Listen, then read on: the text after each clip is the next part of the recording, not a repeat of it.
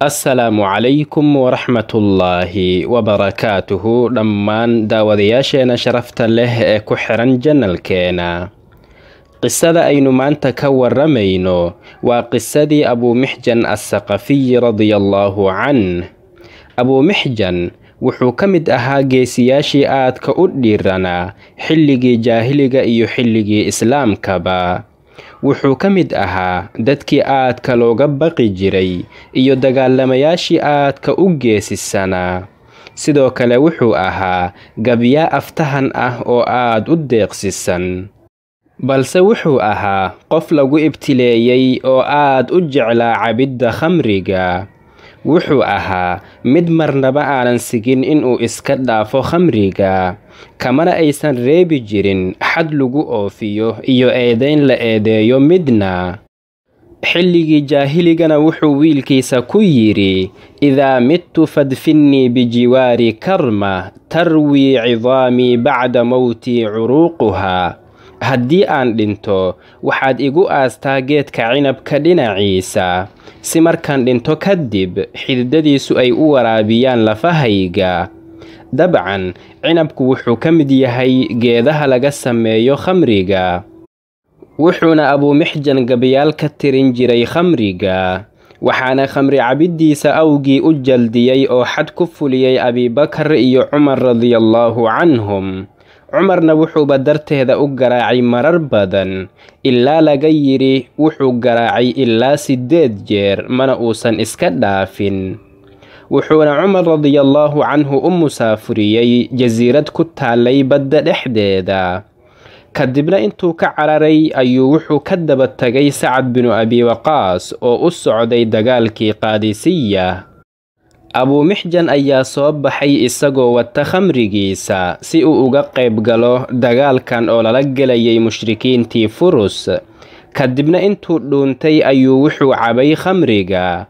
Markaas baa waxaa arkay mid ka mid ahaa ciidankii muslimiinta.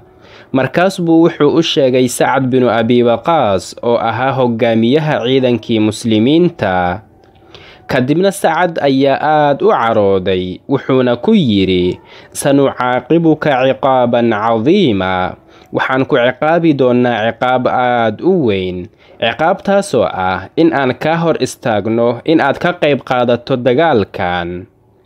In uu fii sabiilillaah ku jihaatamana waxay ahayd waxa ugu weyn ee uu ku haminayay abuumixjan radiallaahu tacaala canhu wa ardaah markaas buu intuu aad u murgay wuxuu sacad ku yidhi igaraaca oo waxaad doontaan igu ciqaaba balse ha iga qadinina ama ha iga reebina dagaalkan. Markaas buu sacad amray in la jaldiyo ama la garaaco taasoo abaalmarin u ah khamri cabiddiisa.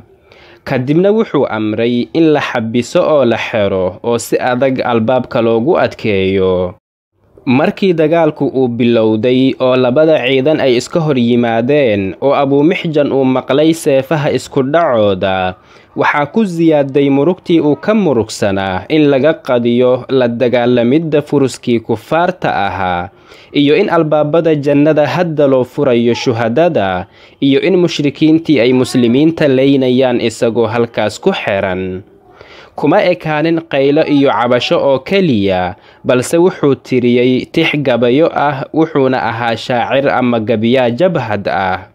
Wuxuuna yidhi kafaa xasanan an tutcana alkhaylu bilqana wa usbixa mashduudan calaya wathaaqiya idaa qumta cannaani alxadiidu wa ugliqat masaaricu min duunii tusimu lmunaadiya bal codkiisa intuu sare u qaaday ayuu ku qayliyey ilaa ay ka soo eegtay sacad binu abi waqaas radiallaahu canhu xaaskiisa.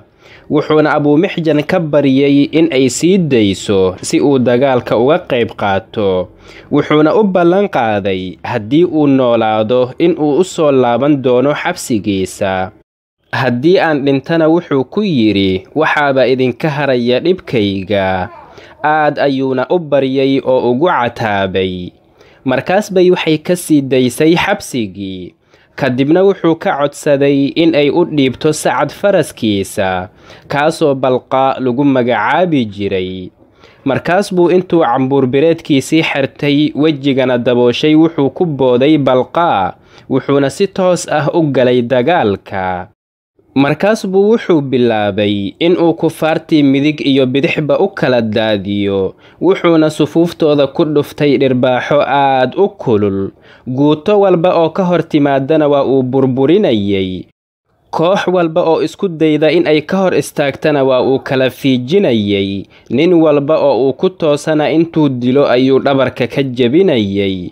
Wuxuu u dagaalamay si aad mooddo inuusan horay ugu dagaalamin dhammaan muslimiintii ayaa aad ula yaabeen waxayna yidhaahdeen yaa waay dagaalyahaankan afka duuban. Qaarkood waxay yidhaahdeen waxaa laga yaabaa in uu yahay gurmad uu cumar inoo soo diray. Qaar kalena waxay yidhaahdeen waxaa laga yaabaa in uu yahay malag samada ka soo degay sidoo kale waxaa aad ula yaabay sacad binu abi waqaas isagoo meel taag ah dagaalka ka daawanayay. Maxaa yeelay wuxuu ahaa dhaawac oo dagaalka kuma uusan jirin.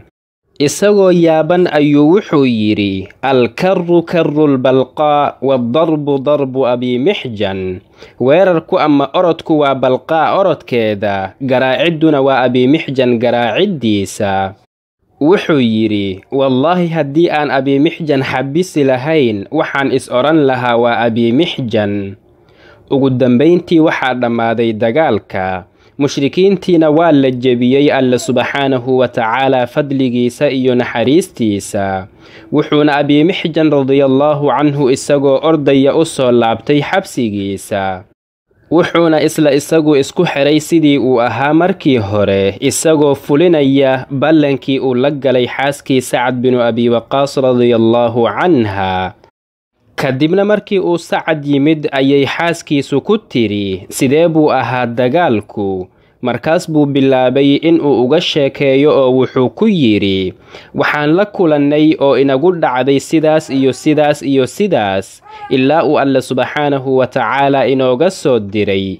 Nin saarnaa faras balqaa oo kale ah. Haddii aan abumixjan xabsiga ooga tagi lahayn waxaan is odhan lahaa waa abimixjan markaas bay ku tidhi wallaahi waa isaga. Waxayna ooga warrantay wixii dhacay kadibna sacad ayaa u jihaystay faraskiisa. Markaas buu wuxuu arkay faraskiisa oo dhidid uu ka qulqulayo. Kadibna wuxuu u jihaystay abimixjan markaas buu wuxuu arkay isagoo dhaawacyadiisu ay dhiigayaan. Markaas buu sacad ku yidhi miyaad soo dagaalantay? Abumixjan ayaa oogu jawaabay haa waan soo dagaalamay markaas buu sacad ku yidhi wallaahi dib dambe khamri kuuma jaldin doono abumixjanna wuxuu yidhi aniguna wallaahi dib dambe uma cabi doono.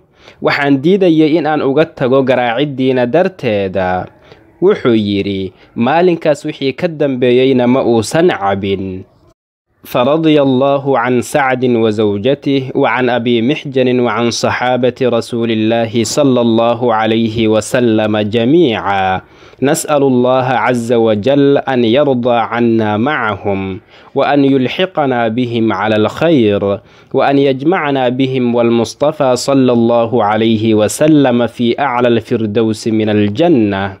هذا والله تعالى أعلى وأعلم وصلى الله وسلم وبارك على سيدنا محمد وعلى آله وصحبه أجمعين. والسلام عليكم ورحمة الله وبركاته.